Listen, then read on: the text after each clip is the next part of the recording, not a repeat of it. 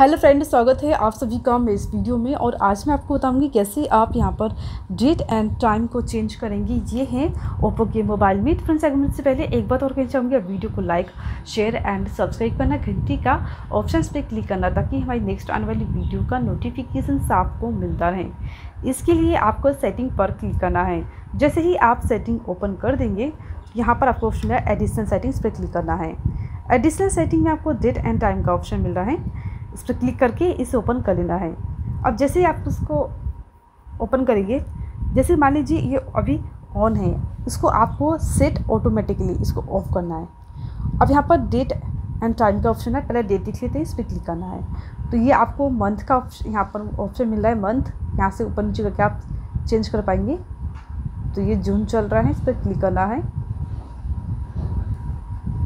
यहाँ पर sorry friends दोबारा मैं क्लिक कर देती हूँ।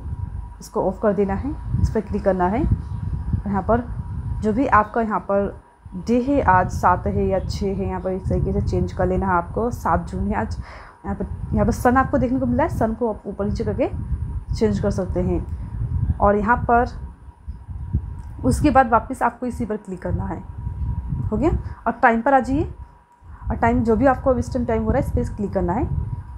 ऊपर नीचे करके से भी सिलेक्ट करना है? ए एम और पी एम का ऑप्शन आपको मिल रहा है यहाँ पर। उसके बाद यहाँ पर आपको ऑप्शन मिल जाता है, इसे ऑन कर लेना है। तो वेरी इंपॉर्टेंट है, आपको इसे ऑन ज़रूर करना है। ये हो चुका है। इस तरीके से आप यहाँ पर डेट एंड टाइम को चेंज कर सकते हैं और यहाँ पर डिस्प्ले पर आपको डेट एंड टाइम देखने को मिल जाएगा। इस तरीके से जैसे कि आप देख पा रहे हैं यहाँ पे कि डेट एंड टाइम देखने को मिल रहा है। तो इस तरीके से आप इस्तेमाल कर पाएँगे। तो अगर आपको वीडियो अच्छा लगा है तो लाइक शेयर एंड सब्सक्राइब करना। घंटी का ऑप्शन पर क्लिक करना ताकि हमारी नेक्स्ट आने वाली वीडियो का नोटिफिकेशन आपको मिलता रहे। तो मिलते नेक्स्ट वीडियो में एक न्यू टॉपिक के साथ। अब तक के लिए नमस्कार।